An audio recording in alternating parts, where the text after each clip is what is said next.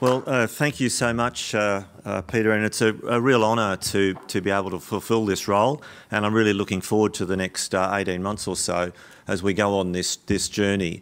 Uh, so one of the things that you're probably sitting back there now is thinking, well, you know, it's going to be kind of interesting, isn't it? So these programs are interesting, they're challenging, they're exciting, and they're tough, and there are moments of anguish and, and angst. Uh, and why do we do it? So I'm going to try and give you some, well, I'm going to try, I'm going to give you some perspective as to why we're going down this, this road. So um, I'm going to start by saying, well, you know, the answer is digital, but what question are we answering when we, when we look at this? Uh, and really, it's, it's how we move to the use of information. How do we move from all the data that we're collecting right across the system to turn it into information that we can use to make really good decisions? That's pretty simple, really. Um, now, our digital journey started way back here in 1897 when uh, J.J. Thomson discovered the electron, the first fundamental particle of physics, which is the reason that we have digital technology. And this plaque that you see here sits on the wall of the Cavendish Laboratory in Cambridge. Uh, and you can go and stand under it and take pictures of it like I've done with all my kids. And it's really an inspiring sight. J.J. Uh, Thomson won the Nobel Prize for Physics in 1906 for showing that the electron was a particle. And in the bizarre world of quantum physics, his son, 35 years later, won the Nobel Prize of Physics for showing that the electron was a wave, and they were both right. Um, now, uh, now, Matthew, I see Matthew up the back there. Just down about 100 metres from this plaque is the Eagle Pub, and on the wall of the Eagle Pub is the uh, discovery of DNA by Watson and Crick, where they announced it to their students. So it's a really quite a heady atmosphere. If you go across the country a little way to a, another place called Oxford, um, this young chap here, Tim Berners-Lee, when he was uh, working there and then went to work at CERN, he invented uh, or discovered uh, or developed the inter, the World Wide Web, not the internet, the World Wide Web, um, uh, uh, something that was described by his supervisor at the time as vague but exciting. Um, now, now, you might ask, well, why did Tim go to all this trouble to build the World Wide Web? And it's really important, it's really interesting when we think about what we do in health. And if you look at his, um, if you look at his original thesis, and there's that vague but interesting quote, um, just read this. In those days, different information on different computers, different log on to get to it. Sometimes you had to learn different program each computer. Often it was just easy to go and ask people when they were having coffee. Sound familiar? Yeah, yeah, yeah. It's just like the world we live in today, isn't it, in, in healthcare. So, you know, this was 30, 30 odd years ago, pretty much exactly 30 years ago now, uh, and we're still catching up in health, aren't we? And yet our whole life is invaded, pervaded, persuaded by all these digital technologies that we have at our fingertips in every walk of our life. Except, of course, in healthcare, where uh, we still rely on this sort of thing. Yeah. So there are still a lots of places that are just paper-based, and and I think you know, I'm running out the vaccine program, we're still going to be faxing stuff around. Of course, the fax is end-to-end -end encrypted; it's very safe. But of course, when the paper falls off, it's not the most ideal way of exchanging information, and we can certainly do better. Now, healthcare has been really successful. So here's, here's one of the great, great story, great news stories about health. So here we are back in just after World War II, uh, when the average life expectancy of a male in Australia, in the UK and the US was about 63, 64 years old. So, you know, I'd, I'd have 50% chance of being dead if I, if I was in that, that, uh, that era.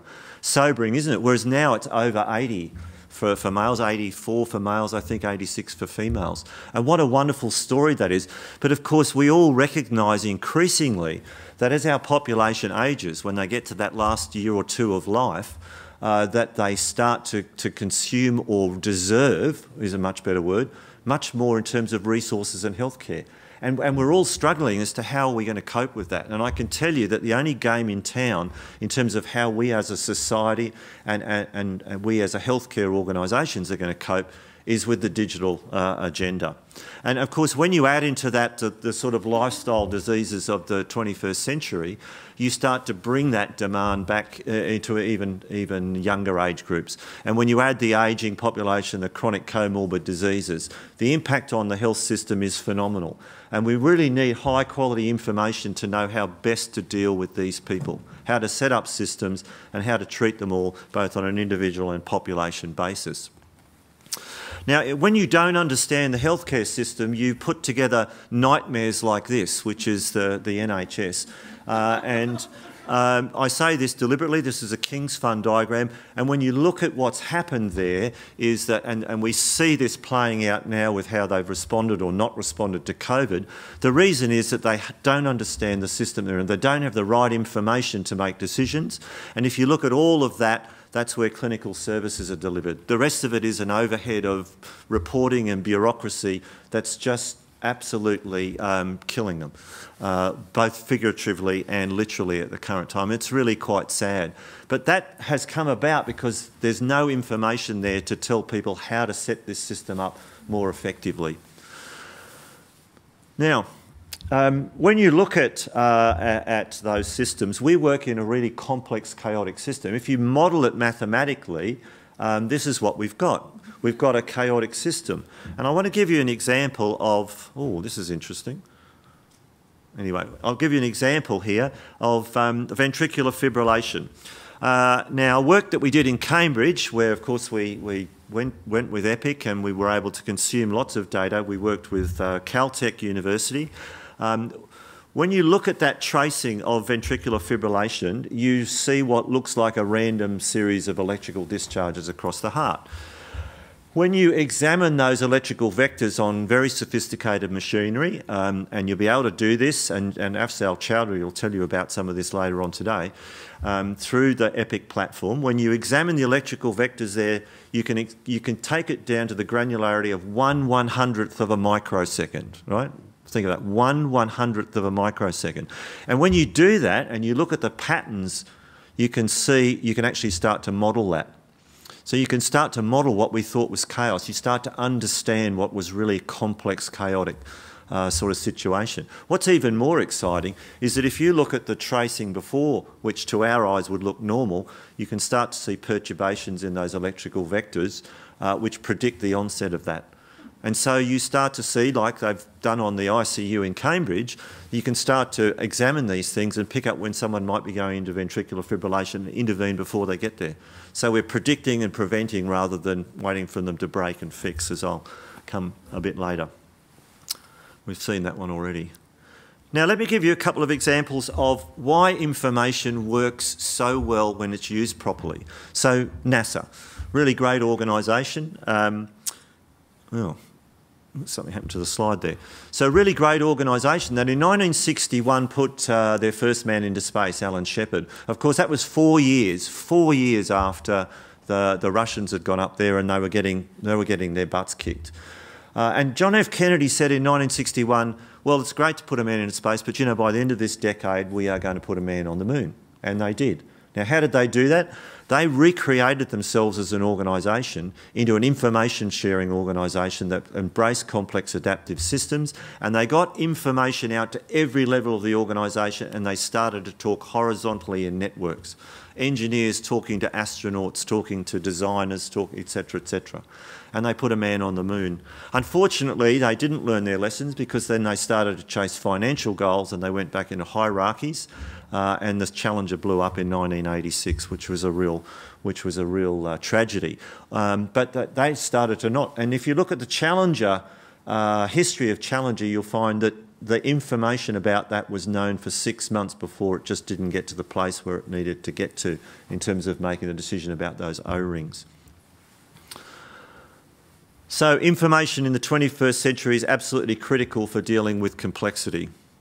Something's happening to these slides here. Anyway, I'll keep going. Um, so it's, it's really information because what information does is it brings order to chaos. It enables us to understand complexity, and the more information we have, the more we can understand it, and that's really important in clinical medicine. Uh, and what, we, what we're about with these systems is our ability to democratise data, to get data to all, all parts of the organisation.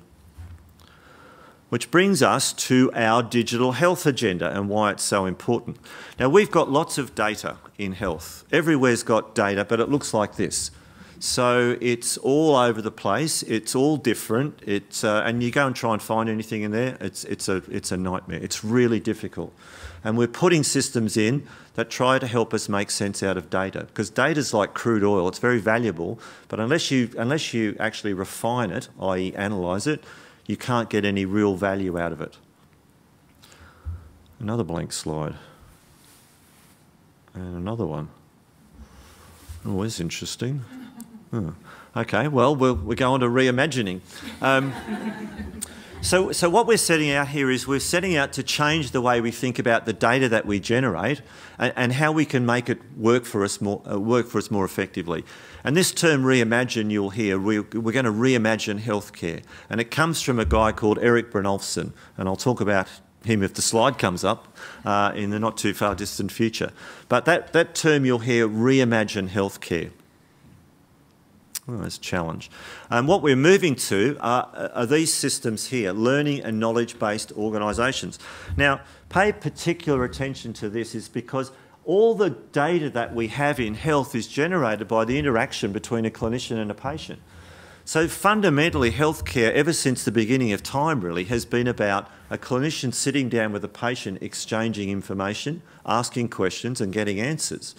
Uh, and then we record that information and we see patterns in it. So the first person who turned up with crushing central chest pain going to their jaw and down to their arm, nobody knew they were having a heart attack. But as we saw it more and more and we were able to record it and share it, the patterns emerged, and we know that that's typical of a myocardial infarct.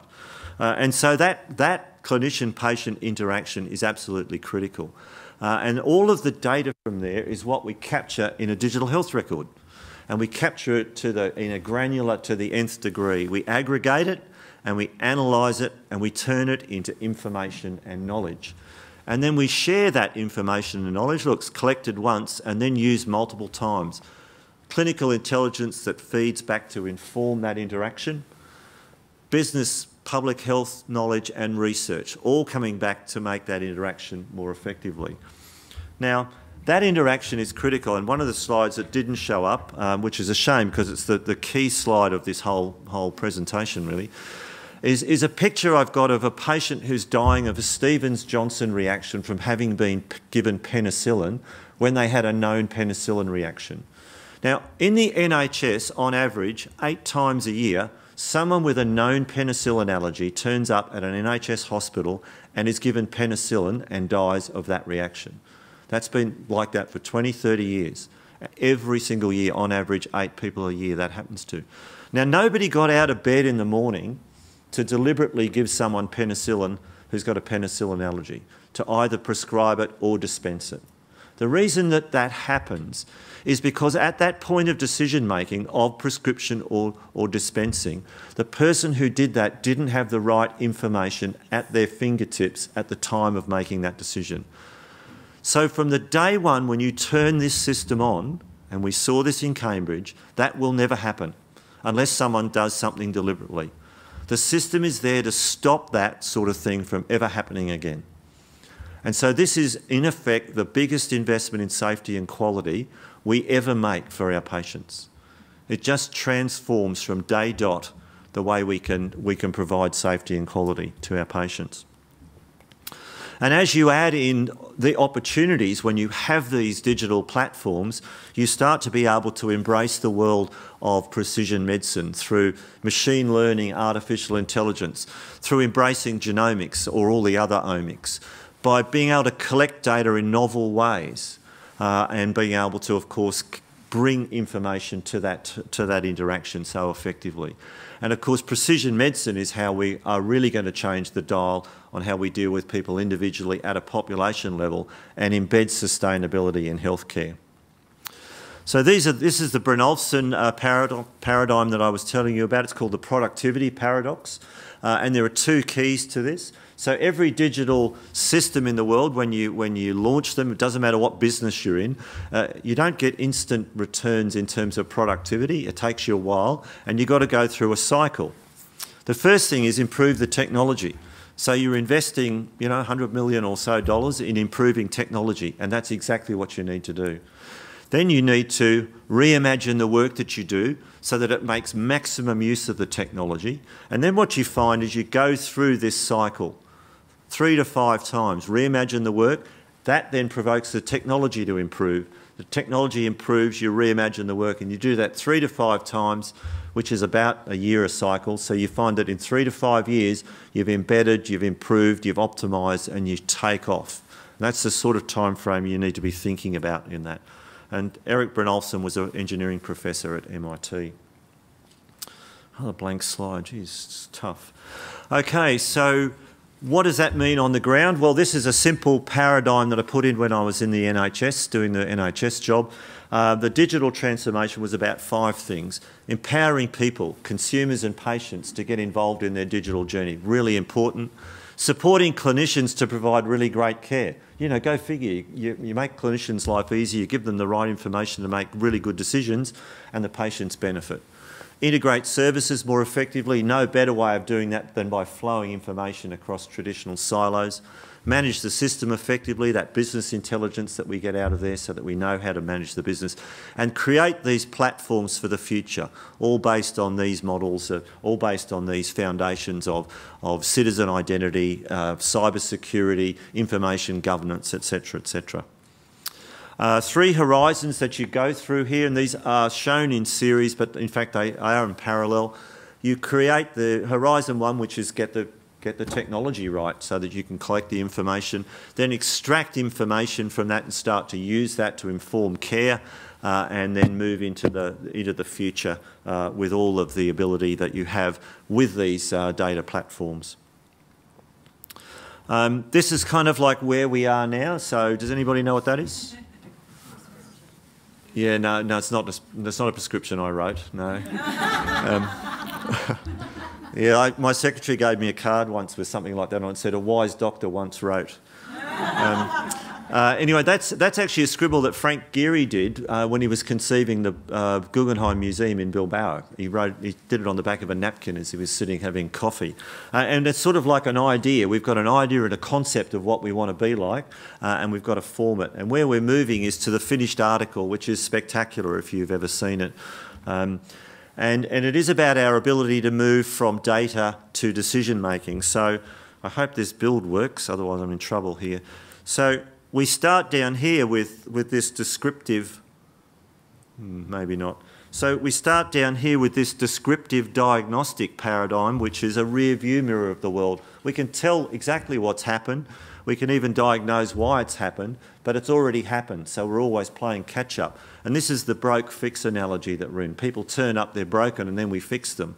We want to move up here into this, which is predict, prevent, uh, where we know what's going to happen and we can actually do something before it does. So that analogy with the ventricular fibrillation uh, that I showed you, we can tell when it's going to happen, we can stop it happening. And that's what we're moving with these platforms. You will move from data, simply collecting data, to actually being able to make really, really high quality decisions every single time anybody across the organisation wants to make a decision. They'll have the right information in front of them to make a really highly effective decision at that point in time. And that's probably all I've got to say. And that's how you transform healthcare. So, you know, welcome to the journey. It's going to be fun. Thank you. So before Keith before Keith escapes too far, um, we might have time for a question or two. So if there's anyone in the audience who has a question, put your hand up and we'll bring a microphone to you. Otherwise, if you're online, please do it through Slido. Um, and whilst people are getting their questions typed and getting ready to answer, and I'm trying to stare down the bright lights, um, Keith, what's the number one thing that you've seen that sort of for patient safety that sticks in your mind that you've seen this type of journey deliver? What's the one big thing that you think about every time? Um, first, uh, first 18 months uh, uh after we went go live in Cambridge, the system flagged up 8,500 allergy and drug potential issues uh, from a prescription, and we calculated that if 10, uh, 8,500 that caused a change in the prescription. So flagged up an allergy or an interaction or a whatever. Uh, and um, that wasn't even with pharmacogenomics in the mix. Uh, and if you calculate 10% of those being clinically meaningful, that would have caused significant morbidity. It saved 3,500 acute bed days uh, just in that time. That's from the day we flicked the switch. Wow. Wow. Yeah. And No Af- pressure at I'm all. sure Afcel will tell you that. I'm sure he will. Okay, Ryan, got the first one over here. Just across to Dr. Coatsworth over there. We're going to make you run as far as other side. Oh, Grace, you can.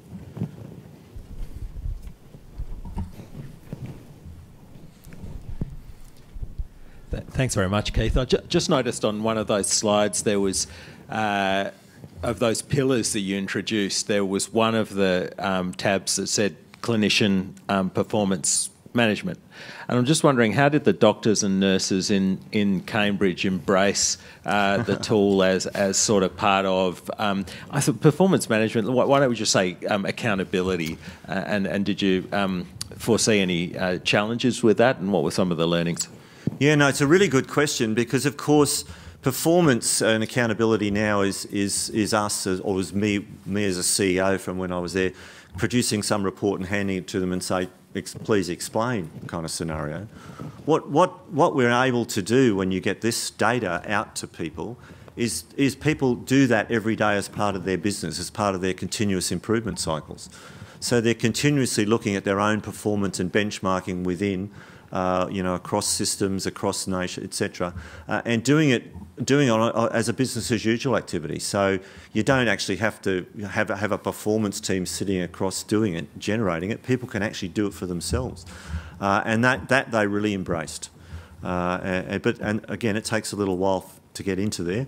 But uh, one of the things we did in Cambridge was we embedded data anal- analysts in all of the business teams, in all of the clinical teams, uh, not small ones, but all the divisions, so that they would have access to that data day to day and they could uh, improve their performance iteratively without me having to jump up and down on. Wonderful. Thanks, Keith. So we've got a couple of online questions for you. How is your British experience different to the Queensland health experience you have had? Um, look, in many ways, it's very similar. So, Queensland Health uh, um, uh, uh, has gone with uh, a single instance of an electronic record, happens to be Cerner, uh, which is enabling us to, to provide a population based platform, so far covering 50% of our adult care and 85% of our children's health care. So, giving us a fantastic opportunity. Um, that was a, an aspiration in the UK when I was there, when we were conceiving something called the Industrial Life Sciences Program, which was to produce these data platforms across populations of three to five million. Queensland's population is about five million. That, by the way, was supposed to be the post-Brexit economic recovery tool, which generated um, was going to double biotech income from 60 to 120 billion pounds a year. Uh, Cambridge contributed 15 billion pounds a year to that 60 billion straight up, and it was all about information and sharing with the partners on the campus. So we're trying to do that in Queensland, um, and they're still trying to do it in the UK. But I think the the the, the experience so the experience is same aspirations, um, wholly different, uh, wholly different setup in terms of the the way the system's governed and run, which will take me ages to go through. So, um, but sa- same aspirations, and everybody's on the same kind of journey for one reason or another. Exactly. And look, we might pick up on that English experience for one last question. Um, the NHS has um, NICE guidelines which can be incorporated into the system. However, that's not the case here. How can we build a safe system in Australia? Well, generate the data for a start, and then get people to analyse it so that you can look for variation. Uh, I mean, th- there are there are any number of guidelines out there. Uh, Australian Commission for Safety and, and Quality, that's uh, a really good start. Um, every hospital will have them, but it is about building your data sets and then getting them out there so people can use them. It's not about the patient and safety and quality unit having all the data or the or the uh, accountants one. It's getting it out to the clinicians, the people who work on the front line. That's that's the real that's where the real system resilience gets built, and our ability to be able to sustain really good healthcare. Wonderful. Look, everyone, can you join me in thanking Keith for his presentation?